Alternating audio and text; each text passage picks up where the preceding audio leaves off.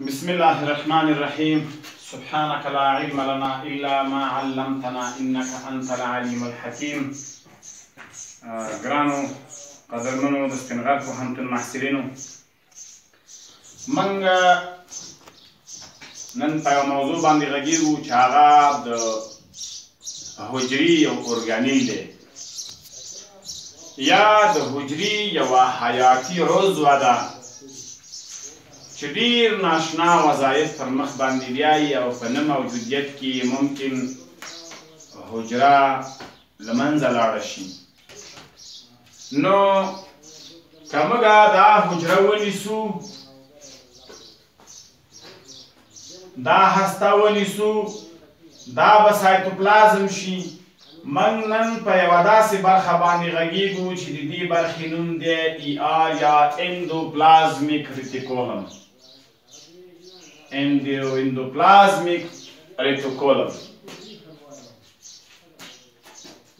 اندوپلازمیک ریتیکولم څه شی دی د چا د خوانه کشف شولو دا موږ چې وایو چې اصلا د حجري مطالعه لا اوس هم روانه ده د حجري په اړه باندې کافي معلومات لا کشف شوي نه دي د بیولوژي علما د طب علما د ساينس علما نن په دې باندې لګیا دي چې لکه څنګه یې چې په کیمیا کې پرمختګونه وکړل آن تر دې دوه دېرش پارتیکلونه یې په هسته کې راویستل دغسې د بیالوژي علما هم لګیا دي کشفیات کوي او د حجرې نوې نوې برخې کشفوي او د هغې دندې او وظایف کشفوي د حجري د حیاتي اعضاو نه یو عضوه چې هغه د حجري حیاتي فعالیتونه پر مخ باندې بیایي هغه د حجري اندوپلازمیک ریتیکولم دی خپل د لومړي ځل لپاره یو عالم چې هغه د ګارنر په نامه باندې یادېدو ګارنر په الکترون مایکروسکوپ کې اصلا د اندوپلازمیک ریټیکولم او پیژندلو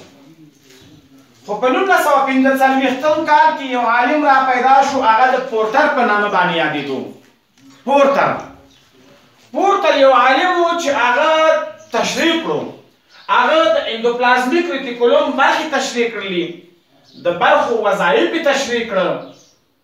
هغه څه وايي؟ هغه وايي چې اندوپلازمیک ریتیکولوم یو منشعب پراګنده کانالونه دي په سایتوپلازم کې چې د هستوي غشا او د حجروي غشا ترمنځ قرار لري وظیفه یې د موادو انتقال دی د موادو لیږدول دي یعنې معنا څه د حجروي غشا څخه مواد راوړي هستوي غشا ته او د هستوي غشا څخه مواد وړي دا حجروي اشاعته دا یوه اساسي وظیفه ده، نور وظایف یې هم موجود دي، ځکه اندوپلازمیک ریټیکولوم یو ډول نه دی، نو همدا علت دی چې د هستوي اشاع او د حجروي اشاع تر منځ تماس ساتي، د موادو انتقال پر مخ باندې بیایي. ربط ساتي، وصل ساتي، تواصل رامنځته کوي. نو موږ څه وایو؟ موږ وایو چې اندوپلازمیک ریتیکولوم په دوه دستو باندې تقسیمیږي. په سایتوپلازم کې اندوپلازمیک ریتیکولوم په دوه برخو باندې ویشل کیږي. یو ګرینولر اندوپلازمیک ریتیکولوم دی.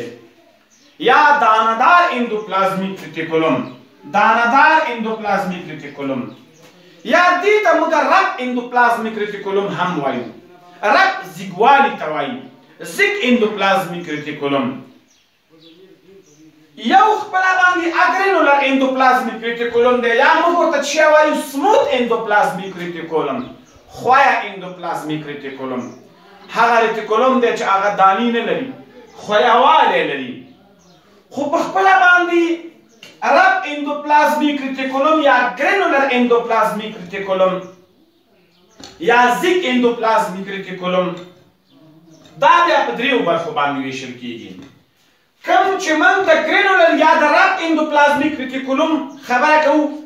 اصلا د دې وجه دا ده چې د دې اندوپلازمیک ریتیکولوم د پاسه ډیرې کوچنۍ دانې موجودې دي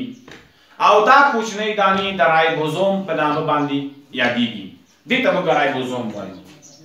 مګر رایبوزوم دلته په دوه دستو باندې تقسیمیږي.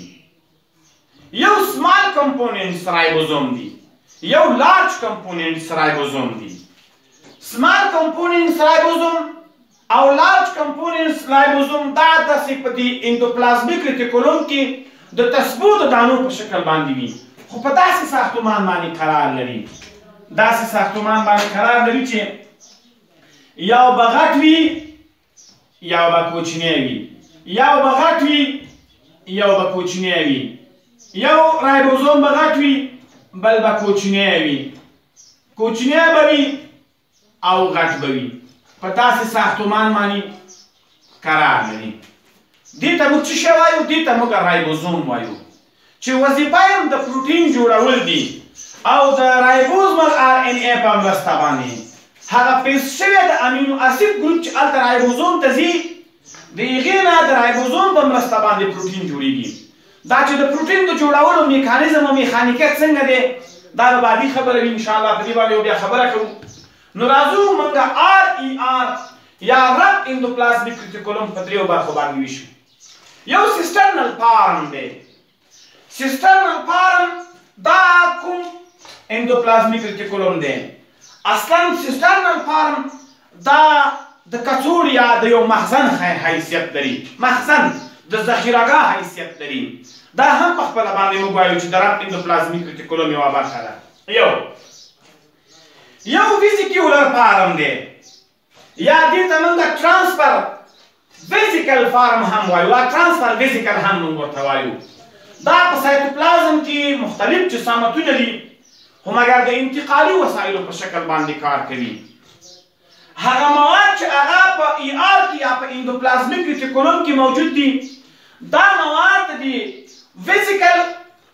فارم په وسیله باندې یا د ترانسفر ویسیکل په وسیله باندې اخیستل کیږي او د دې په وسیله باندې د ای آر نه اخلي څوک اخلي دغه ویسیکل فارم یا د ترانسفر ویسیکل اخلي د ای آر نه او دا ورکوي چاته ګلجی باډي ته او ګلجی باډي خو پروتین پیکینګ فیکټری ده هغه خو د پروتین د ډلبندۍ دستګاه ده نو معمولا هغه بیا په خپل طبیعت باندې او د اصول سره سم د غوښتنې سره سم د حجرې مختلفو برخو ته وړي یو ټیوبولر فارم دی ټیوبولر فارم څنګه چې د ټیوبولر کلمه ده داسې ټیوب ته ورته ساختمانونه دي ټیوب ته ورته ساختمانونه دي خو دا ټیوب ته ورته ساختمانونه معمولا د حجرې په داخل کې که چېرته موږ عرضاني مقطع وکړو داسې په عرض باندې یې غوڅ کړو داسې بیا دایروي جوړښت رامنځته کوي انشعاب ډیر زیات دی ډیر زیات دی منشعب او پراګنده شکل باندې ډیر زیات دی نو موږ وایو چې اندوپلازمیک ریټیکولوم اساسي دنده د موادو انتقال د حجروي غشا نه تر هستوي غشا پورې او د هستوي غشا نه تر حجروي غشا پورې دا د اندوپلازمیک ریټیکولوم مسله وه چې په سایتوپلازم کې موجود دی اوس خپله آیا اندوپلازمیک ریټیکولوم دا یو حیاتي عضو ده که نه ده موږ وایو که چیرته د اندوپلازمیک ریټیکولوم وظایف ته موږ وګورو او دا وظایف په دې حجره کې لمنځه لاړل نو په خپل باندې په ټوله معنا باندې به دا معمول دی موږ وایو چې دا به لمنځه ځي ځکه حجره به لمنځه ځي نو اندوپلازمیک ریټیکولوم دا معمولا موږ وایو چې د حجري حیاتي ارګانیل دی یا حیاتي عضو ده چې په نه موجودیت کې حجره ژوند له لاسه ورکوي دا د معمولا د رب اندوپلازمیک ریټیکولم په اړه باندې موضوع وه یو سموت اندوپلازمیک ریټیکولم دی چې په دې اړه باندې به هم بحث کوو